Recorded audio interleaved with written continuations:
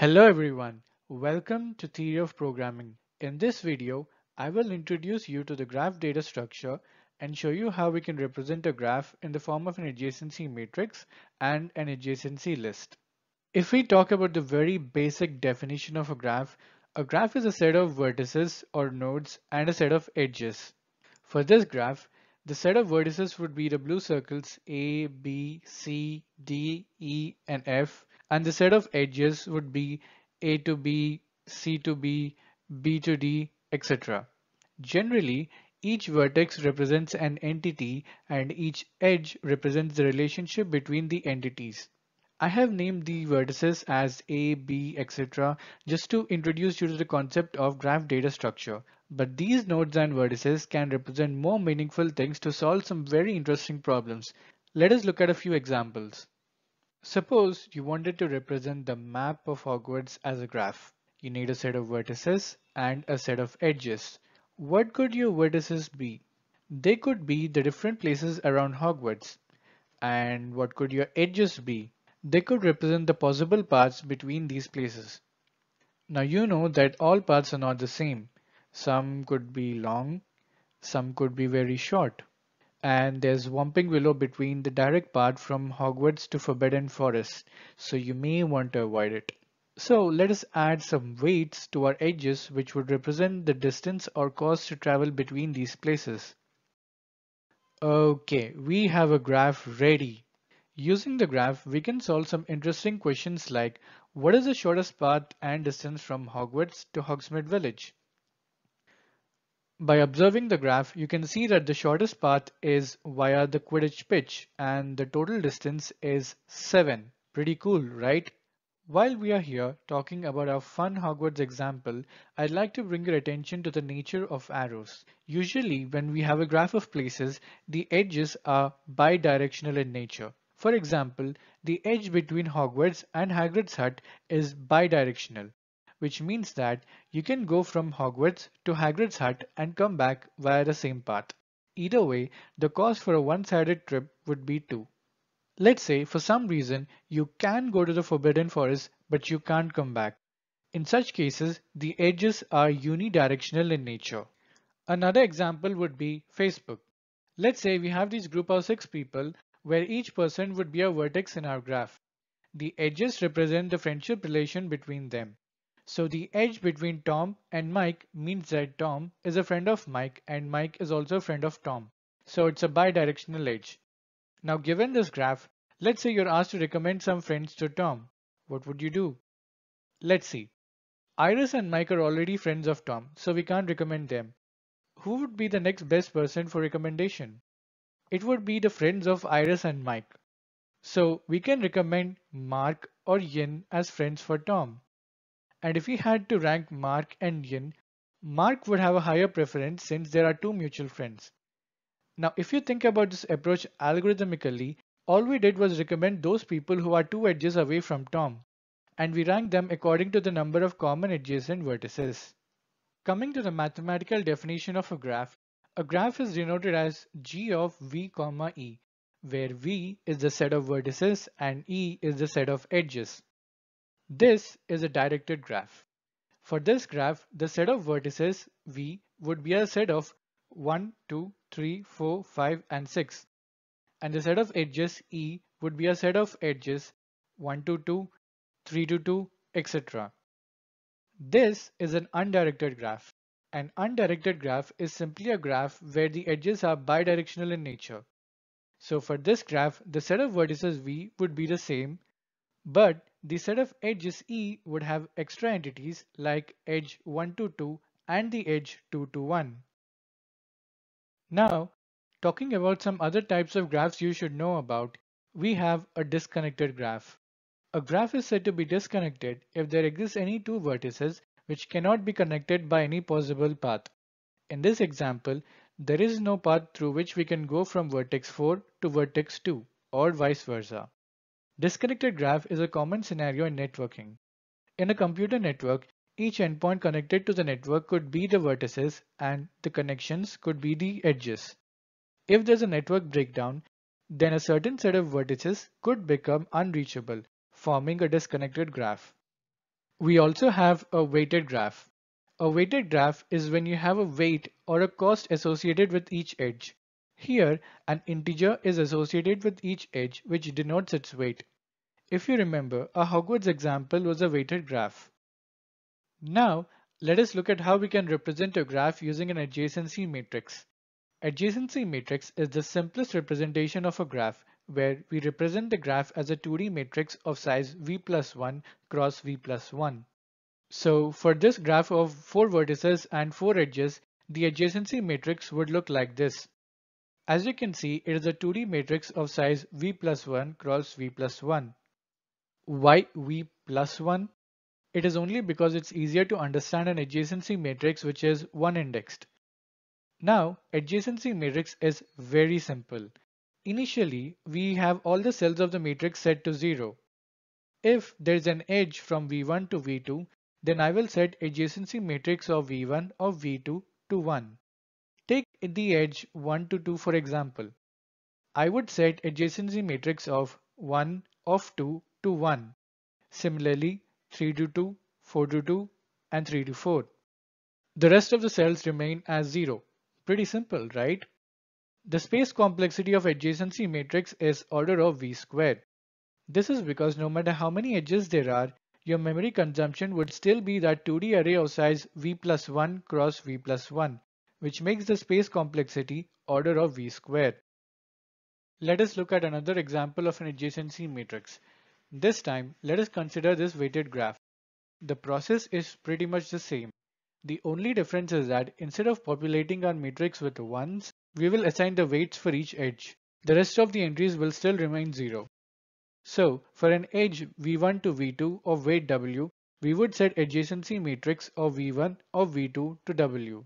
So for this weighted graph of 6 vertices and 5 edges, the adjacency matrix would look like this. Adjacency matrix is as simple as a 2D array of integers. If you have ever used a 2D array, then you already know how to code an adjacency matrix. Okay, now let us look at the adjacency list. Adjacency list is one of the most efficient representations of a graph. In the simplest terms, an adjacency list is an array of linked lists where each linked list belongs to each vertex. So, formally defining it, an adjacency list is an array of pointers of size v plus 1, where each pointer is the head pointer of a linked list. Each node in the linked list will contain information about one edge in the graph. For example, consider this graph of 4 vertices and 4 edges. Since we have 4 vertices, we would have an array of size 5, where each element is a pointer to a linked list. Take vertex 3 for example. It has two adjacent vertices, vertex 2 and vertex 4. So for the linked list corresponding to vertex 3, we would have two integers 2 and 4. This node in the linked list which holds integer 2 denotes that vertex 2 is adjacent to vertex 3 because it is a part of vertex 3's adjacency list.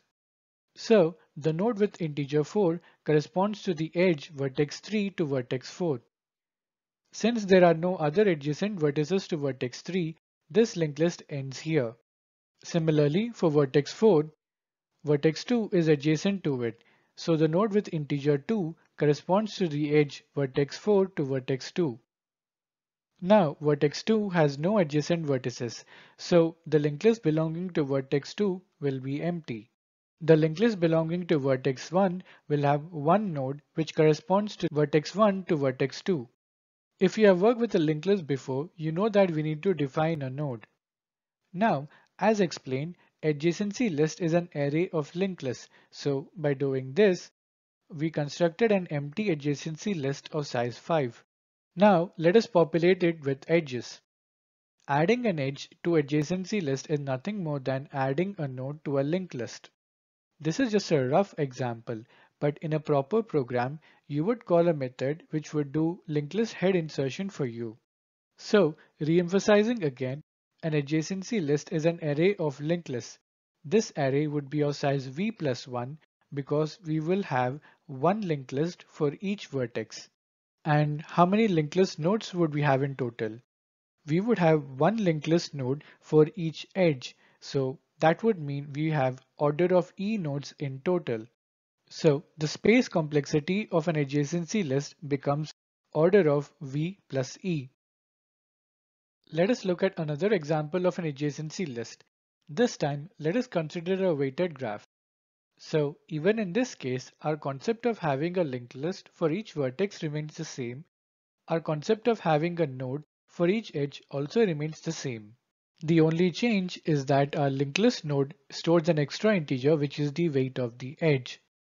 So if we take the edge vertex 2 to vertex 4 for example, in the linked list associated with vertex 2, we would have a node with integer 4 which denotes that it is adjacent to vertex 2 and another integer minus 2 which denotes that the weight of the edge is minus 2. Now let us compare the two graph representations we just learned. We know that adjacency list is more space efficient than adjacency matrix because adjacency list space complexity is order of v plus e which is better than order of v square. Inserting an edge into adjacency matrix and adjacency list both take constant time because in the case of adjacency matrix you have direct access to a cell where you can just set the corresponding entry to 1 and in the case of adjacency list you could follow head insertion of a linked list to add the new edge in constant time. However, deleting an edge is faster in adjacency matrix. This is because in adjacency matrix, you have direct access to the cell, but you can just reset the entry. But for an adjacency list, you have to traverse the whole linked list to find the exact node you want to delete. So edge deletion in adjacency list takes order of e time, which is a lot slower than adjacency matrix, which takes constant time. Adjacency matrix is very simple to code but using adjacency lists for the standard graph algorithms offers better time complexities. I personally prefer using adjacency lists, but adjacency matrix is a quick and easy option. Now let us look at the code for adjacency list in Java. All my codes are available on my GitHub. I will leave a link in the description below. For now, I have it opened in my NetBeans. So going through the code, this is my linked list node. It has two integers, vertex and weight. Vertex denotes the destination vertex of the edge and weight denotes the weight of the edge. Coming to the main function, I have a few helper variables declared and then I start off by scanning the number of vertices and edges. Then I create an array of node references of size vertices plus 1. This is my adjacency list. Currently it is empty so I start adding edges into it. So I keep scanning edges, which is a set of three variables v1, v2 and w, which denote the edge v1 to v2 of weight w. Once I have them, I call add edge method and then I pass the adjacency list of v1, which is the linked list corresponding to v1 and I'm telling my method that I want to add a node v2 of weight w. If we head down to add edge method, we can see that all it does is head insertion of a node in linked list. So it creates a new node, adds it to the head and returns the new head. So this line essentially adds the edge v1 to v2. If I wanted to make this a bidirectional graph, I would simply uncomment this line which adds the edge v2 to v1. If you see, all I've done is interchange v1 and v2. Now I want to print my adjacency list, so I'm calling our utility method print. If we head down to print, uh, we can see that all it does is iterate through each element in the array and print out all the nodes in the linked list corresponding to it. Then I'm scanning three variables v1, v2 and w to demonstrate deletion of an edge. So once I have them, I call delete edge method to which I pass adjacency list of v1 which is essentially the linked list corresponding to v1 and the node which I want to delete where the destination vertex is v2 of weight w. So if we head down to delete edge method, all it does remove a node from a linked list and it returns the new head and then I print out my adjacency list. So uh, let's run this code. So if we keep it simple, let's say I have a graph of three vertices and two edges. There is an edge from 1 to 2 of weight 4 and there's an edge from 3 to 2 of weight 3. Okay, so as you can see, adjacency list of 1 says there is a linked list which has only one node where the destination vertex is 2 and the edge has a weight of 4. Similarly, adjacency list of 3 says it is a linked list which has one node where the destination vertex is 2 and the weight is 3. Now let's try to delete the edge 3 to 2. As you can see, it is deleted from the linked list. Thanks for watching. If you found this video helpful, please hit the like button and if you like the content on my channel, please hit the subscribe button and the little bell next to it so that you get notified whenever I post a new video.